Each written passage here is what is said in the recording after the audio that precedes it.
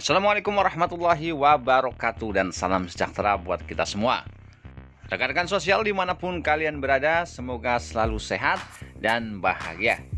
Berjumpa lagi dengan Asahra Studio Channel Dan pada kesempatan kali ini Saya akan berbagi informasi tentang Alhamdulillah mantap 10 bantuan tambahan cair akhir Agustus sampai dengan September 2021 mulai 250.000, 600.000, 1,2 juta, 1,8 juta hingga 2,4 juta rupiah. Jangan sampai hangus. Namun sebelum ke pembahasannya khususnya kalian yang baru mengenal channel ini jangan lupa like, komen, share, serta subscribe Kemudian tekan tanda loncengnya untuk selalu mendapatkan notifikasi berita dan tips-tips bermanfaat lainnya dari channel ini secara gratis. Karena channel ini akan selalu update membahas tentang bansos-bansos dari pemerintah dan tips-tips bermanfaat lainnya supaya kalian tidak ketinggalan berita. Dan khusus kalian yang sudah subscribe channel ini, kami ucapkan banyak-banyak terima kasih dan kami doakan semoga kalian selalu sehat dan melimpah rezekinya. Amin amin ya robbal alamin. Dan kami juga mengundang kalian semuanya ya untuk mengikuti undian rezeki tambahan bulan Agustus 2021 dengan total hadiah Rp800.000 dari Azahra Studio Channel. Semua mempunyai kesempatan menang ya, baik itu KPM PKH, BPNT, BST, BPUM, BNM Mekar, Prakerja, dan semuanya ya, termasuk yang belum pernah mendapatkan bansos. Intinya kalian adalah penonton setia Azahra Studio Channel.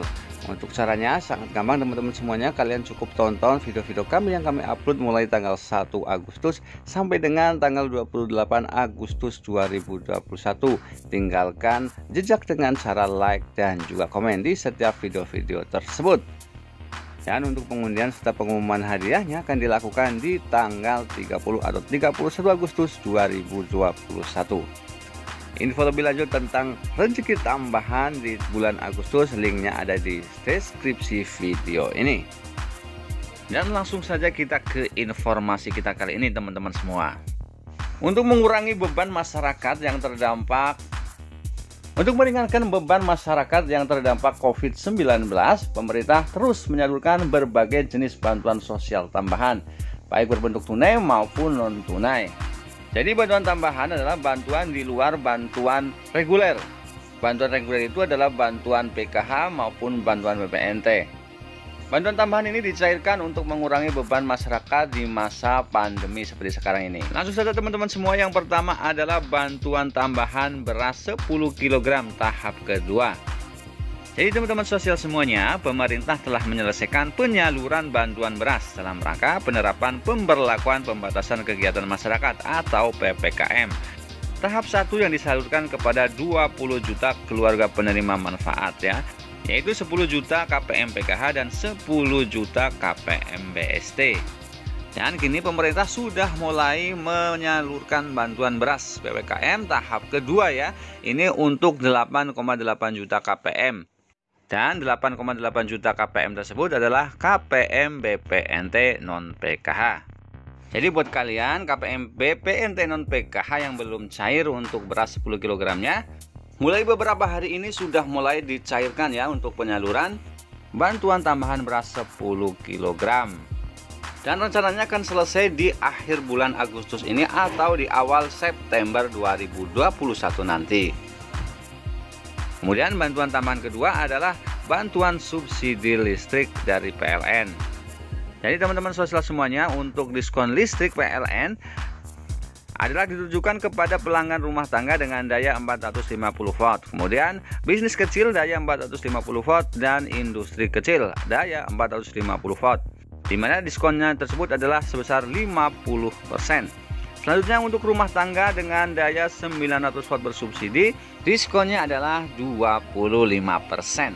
Jadi bagi teman-teman sosial semuanya yang daya listriknya adalah 450 watt atau 900 watt bersubsidi, kalian sudah bisa menikmati untuk diskon listrik ini dari mulai Juli sampai September dan kemudian diperpanjang lagi sampai dengan akhir tahun. Jadi teman-teman, untuk bantuan tambahan diskon listrik ini bisa kalian nikmati sampai dengan akhir tahun 2021 ini.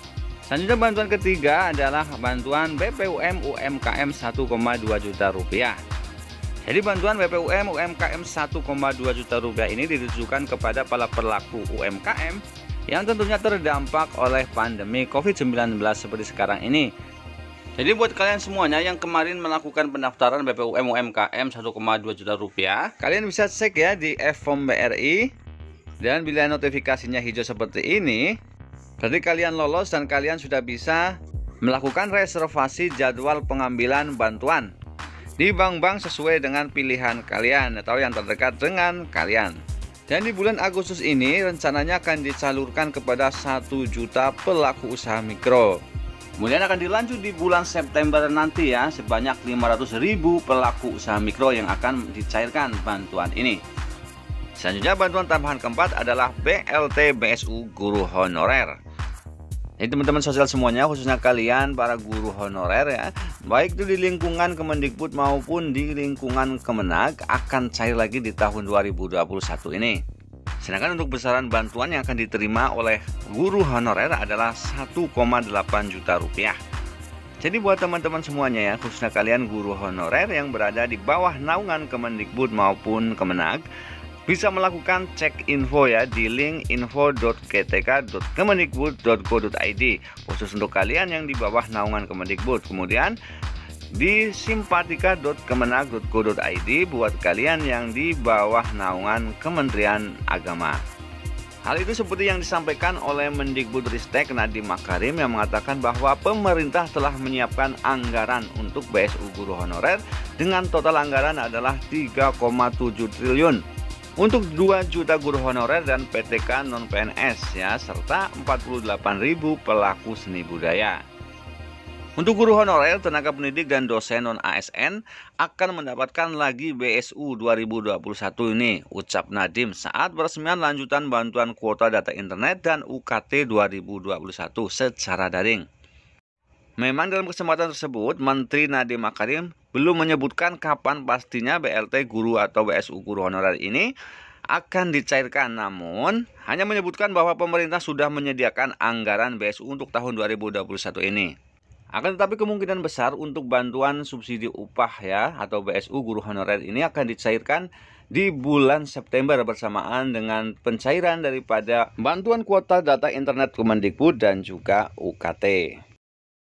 Selanjutnya bantuan kelima adalah bantuan program Indonesia Pintar. Jadi teman-teman sosial semuanya untuk menerima program Indonesia Pintar sendiri adalah siswa dari keluarga miskin atau rentan miskin yang tercatat di DTKS pada desil 1 sampai desil 4. Dan juga siswa dari keluarga miskin atau rentan miskin yang diusulkan oleh Dinas Pendidikan dan pemangku kepentingan. Tentunya berhak mendapatkan bantuan program Indonesia Pintar ini. Jadi buat kalian yang kemarin mendapatkan SMS nominasi dari Kemendikbud dan sudah melakukan aktivasi rekening sebelum tanggal 5 Agustus 2021, tanggal 10 kemarin diperkirakan sudah turun untuk SK-nya dan diperkirakan tanggal 15 Agustus 2021 kemarin mulai dikeluarkan surat perintah membayar atau SPM. Jadi pemerintah dalam hal ini Kemendikbud yang kemudian surat perintah membayar tersebut disampaikan kepada KPPN dan selanjutnya KPPN akan menyalurkan dana sesuai dengan SP2D ke rekening penyalur. Yang di antaranya adalah Bank BRI dan Bank BNI. Dan setelah melalui beberapa proses, baru akan disalurkan ke rekening peserta didik.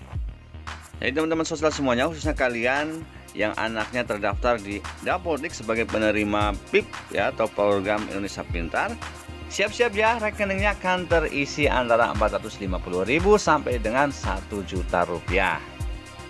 Selanjutnya, bantuan keenam adalah bantuan subsidi upah BLT BPJS Ketenagakerjaan. Jadi untuk menerima bantuan subsidi upah harus memenuhi beberapa syarat-syarat berikut. Yang di antaranya adalah yang pertama warga negara Indonesia yang dibuktikan dengan kepemilikan NIK kemudian peserta aktif program jaminan sosial ketenagakerjaan atau BPJS ketenagakerjaan sampai dengan bulan Juni 2021 kemarin.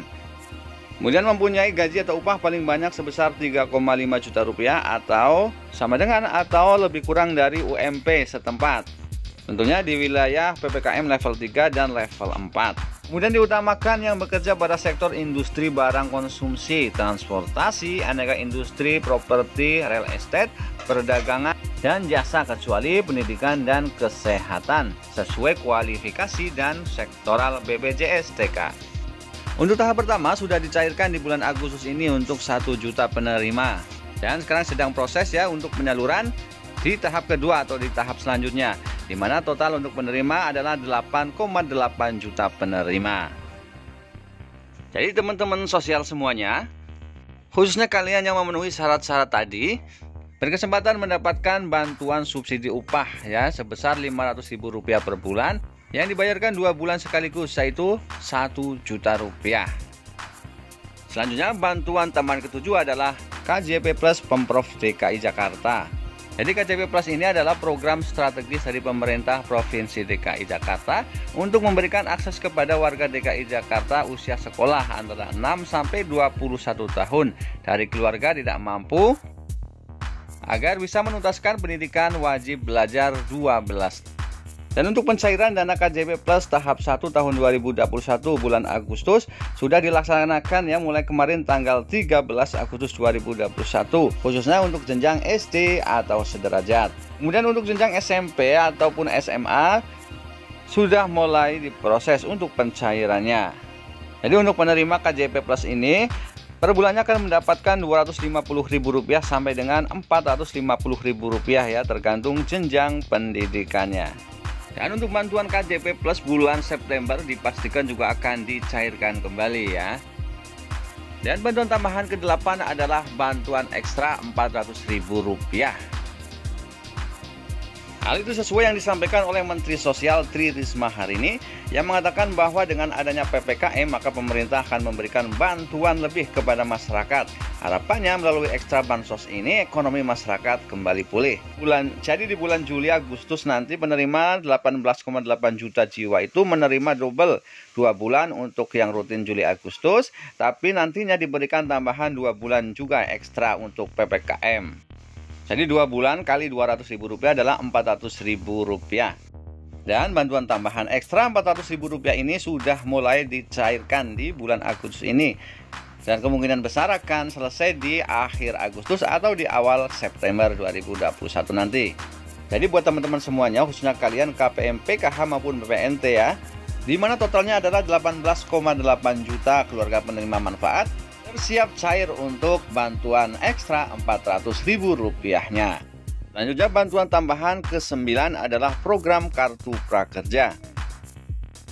Jadi, program Kartu Prakerja adalah program pengembangan kompetensi kerja dan kewirausahaan berupa bantuan biaya yang ditujukan untuk pencari kerja, pekerja yang terkena PHK, atau pekerja yang membutuhkan peningkatan kompetensi termasuk pelaku usaha mikro dan kecil. Jadi buat teman-teman sosial semuanya yang kemarin ikut mendaftar kartu prakerja gelombang 18 dan dinyatakan lolos segeralah kalian gunakan saldo pelatihan untuk membeli pelatihan dan secepatnya selesaikan pelatihan-pelatihan tersebut supaya mendapat jadwal pencairan insentif di bulan September besok. Jadi peserta program Kartu Prakerja akan mendapatkan insentif senilai Rp600.000 per bulan yang dibayarkan selama 6 bulan. Jadi total insentif yang akan diterima adalah 2,4 juta rupiah. Plus ditambah lagi nanti ada insentif kebekerjaan yaitu sebesar Rp50.000 per bulan yang akan dibayarkan 3 bulan. Totalnya Rp150.000. Jadi total insentif semuanya yang akan masuk ke rekening kalian adalah Rp2.555.000. Jadi bagi teman-teman sosial semuanya yang kemarin belum sempat mendaftar kartu prakerja atau belum lolos di gelombang-gelombang sebelumnya, jangan lewatkan ya untuk pendaftaran kartu prakerja gelombang 19 yang akan dibuka di akhir bulan Agustus ini atau di awal bulan September besok. Selanjutnya bantuan tambahan ke-10 adalah bantuan uang kuliah tunggal atau UKT. Jadi seperti diketahui Kemendikbudristek akan menyalurkan bantuan UKT untuk meringankan beban mahasiswa yang terdampak pandemi COVID-19. Hal itu seperti disampaikan oleh Menteri Pendidikan dan Kebudayaan Nadiem Makarim dalam konferensi pers peresmian lanjutan bantuan kuota data internet dan UKT tahun 2021 kemarin. Jadi bantuan UKT Kemendikbudristek menyasar kepada mahasiswa yang aktif kuliah bukan penerima KIP kuliah atau bidik misi, serta kondisi keuangan memerlukan bantuan UKT pada semester ganjil tahun 2021. Kata Nadiem Makarim. Kemudian Nadiem mengatakan bantuan UKT Kemendikbudristek akan dicairkan mulai September 2021. Bantuan UKT Kemendikbudristek ini diberikan sesuai besaran UKT yaitu dengan batas maksimal 2,4 juta rupiah. Selanjutnya, Mas Menteri juga menghimbau kepada para mahasiswa yang memerlukan bantuan UKT Kemendikbudristek 2021 ini untuk segera mendaftarkan diri ke pimpinan perguruan tinggi. Untuk selanjutnya bisa diajukan sebagai penerima bantuan ke Kemendikbudristek. Baik teman-teman saudara semuanya, semoga informasi tadi bermanfaat. Jangan lupa like, komen, dan subscribe. Kemudian tekan tanda loncengnya untuk selalu mendapatkan notifikasi berita dan tips-tips bermanfaat lainnya dari channel ini secara gratis. Akhir kata, salam sehat, salam semangat, dan salam sukses buat kita semuanya. Wassalamualaikum warahmatullahi wabarakatuh.